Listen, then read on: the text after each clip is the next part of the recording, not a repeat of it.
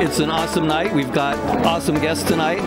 Jason is working on one of the biggest shows on uh, streaming right now, Umbrella Academy. So it's an honor to have him here, and he's also just an awesome guy in general. Jason, is this going to be one of your shows on the Emmy nominations as well?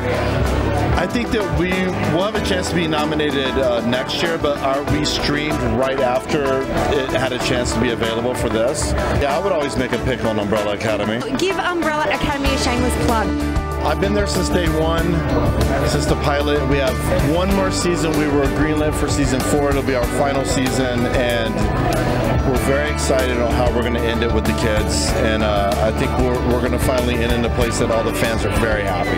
Tell us a secret. Where does it end up? Oh, I, would have to rumor you. I would, I would tell you that and then make you not know the secret. Oh no, Jeff, do you have none whatsoever, and that's what makes it so enjoyable. They, they take it places you don't expect. No one's in trouble. Umbrella Academy, yes. Yeah, you know, I, I, would I would say that Jeff probably even if he knew secrets, he's so he's loyal enough to keep it to himself. well, he paid me a lot of money, but I'm not saying. I owe him lunches for like the next like eight years to keep it, so it's fine. Yes, you do.